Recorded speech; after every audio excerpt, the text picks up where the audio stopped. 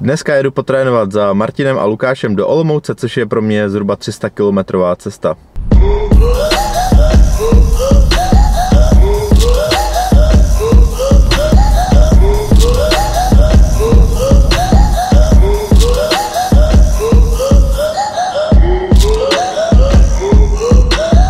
Možná si říkáte, že jsem blázen, že kvůli pár baterkám jedu takovou dálku a nejspíš máte pravdu.